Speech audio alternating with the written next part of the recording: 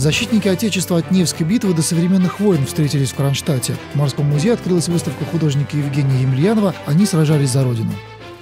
Автор, сотрудник Петербургского артиллерийского музея, всю жизнь превращает летописи и документы в художественные произведения. В своих картинах Евгений Емельянов старается добиваться максимального исторического соответствия, но, как, наверное, любой настоящий художник, порой позволяет себе некоторые вольности. Здесь, например, воин на переднем плане в рубахе идет э, в атаку на закованных в латы рыцарей. Да, такого быть в принципе не могло.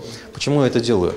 Образ человека, который борется за свой устой который за свои принципы, за свои традиции. Вот рубаха у него с оберегами славянскими. Да? Экспозиция состоит из 20 картин. На полотнах Невская битва, Ледовое побоище, Крымская война. Но большая их часть связана с Великой Отечественной и Севастополем. Выставка «Они сражались за Родину» продлится до середины мая, а после автор планирует дополнить ее новыми работами и презентовать в военно-историческом музее в Александрийском парке.